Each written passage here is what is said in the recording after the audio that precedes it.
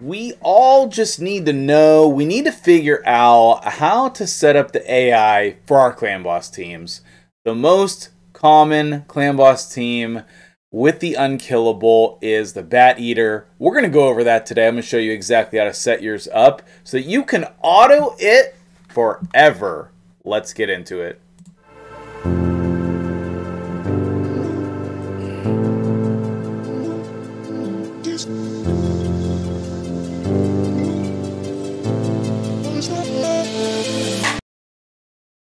What's up guys, MTG Jedi here, and man, this is a very important video I'm recording today. Um, if you found this helpful and enjoyable, hit that like button for me, it really helps.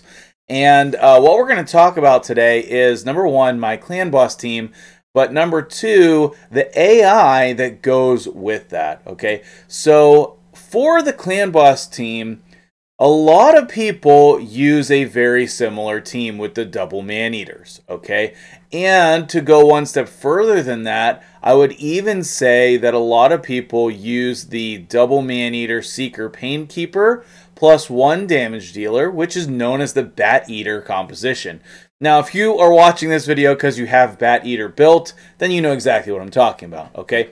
But if you have a different Clan Boss team, you can still use these ideas and these concepts in order to set up the AI on your team, okay? Because everyone's Clan Boss team is different, and you want your Clan Boss team to do different moves at different times. And that can make a huge difference on the amount of damage that you are putting out. It really can. So let's come in here to Ultra Nightmare and I have uh, basically screwed up my team on purpose um, because. So I don't want to delete that team because.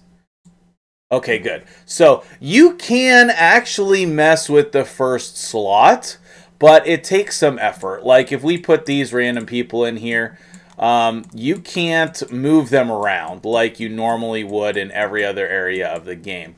But let's say that I really want Lydia to be first. I can just click those off um, and then and then add them back in there at the end or wherever you want them. And the order that you put your team does definitely matter. Okay, in my clan boss team, I use Belanor as the lead. He has this wonderful crit rate aura, which is perfect for clan boss. And if you have a crit rate aura, that could be really helpful for your clan boss team as well. Next up in my team are the two man eaters. And after that is Painkeeper. And lastly, you want to put your Seeker, okay? Seeker has a passive to where you're going to get an increased defense buff, okay? If you put him in the last spot, then he will put his defense up very last and you will take more damage. The reason why that's good is because of some of your masteries. Okay, if you have those counterattack masteries, you can get some extra hits in there. After you have your team um, slotted in there, you're going to choose this like slider. It almost looks like an abacus. but you go ahead and click that. And then you can decide what abilities you want to do for each of your team. Okay, so, um, let's see here. Belanor's AI is perfectly fine. Um, he is going to prioritize the defense down and weaken. Um, he doesn't do that.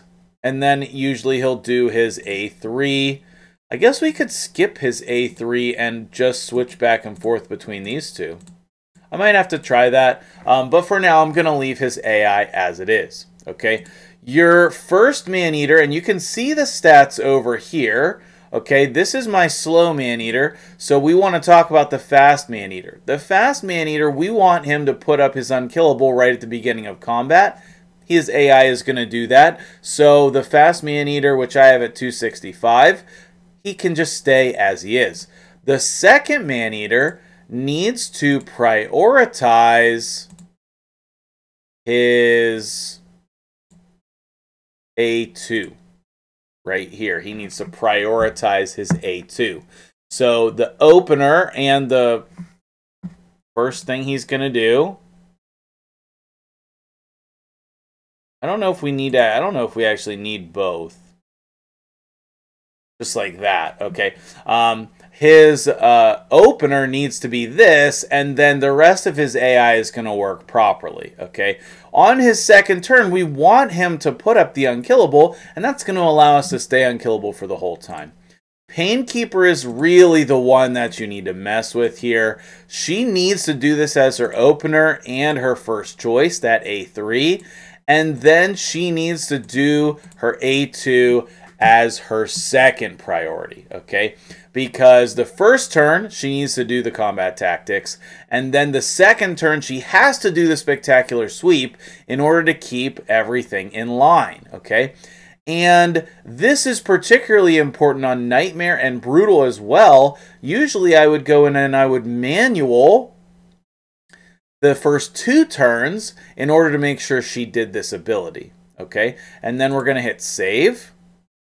And then we are going to back out. So we're going to come in here. We're going to make sure that this is checked. Because if it is not checked, it will not load the team. And then you will have your old team AI, basically. That's what happened to me the very first time I did this. Okay, and if I were for some reason to want this team, then I would check that. If you have maybe more than one version of your clan boss team, for me, this is a Doom Tower team um, and not a clan boss team at all. Okay, I want this to start on auto because I know that I don't want to do anything. I want to come in in the morning, hit auto, say go. Now, um, We'll go over a couple more things in a, in a second um, as soon as I make sure that we clicked all the right buttons. Painkeeper did her move. Uh, Maneater did his move. Maneater 2 did his move. And now we need to make sure that the second Maneater puts up the unkillable and Painkeeper does her sweep. Perfect. Okay, so the last couple things that I want to mention here is Remember, you actually have four turns that you can program the AI. Okay, so you have your opener turn, and then you have the first, second, and third, you know, usually things that they will do. Depends on the number of abilities, okay? And so keep that in mind. I think you should be able to program the AI for any clan boss team, but like the the slow double man eater, you have to manual like five and six turns. So I think that there's a way to do that, but I haven't done that firsthand. Um, I will be trying out the AI on a clan boss build later today on stream. Um, I think this will be uploaded uh, before I go live, or maybe I'll wait till tomorrow. We'll see. Uh, either way, um, I'm building clan boss teams on stream all the time at twitch.tv slash mtgjedi. And if that is of interest to you, you want to come hang out, we have an absolute blast over there, and I'm always available to answer your questions.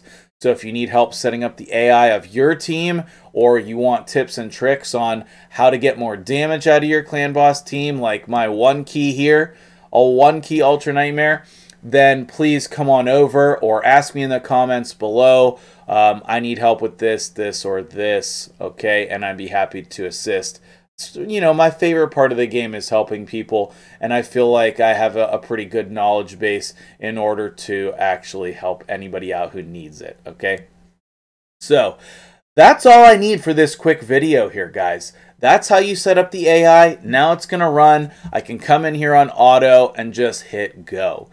Um, that will work with this setup on Ultra Nightmare, Nightmare, and Brutal for you guys and you will have to do a slightly different composition for hard.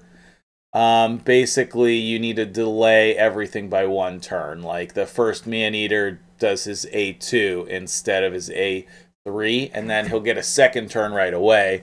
Um, but that's a story for another day. Okay, most of you are not hitting hard anyway.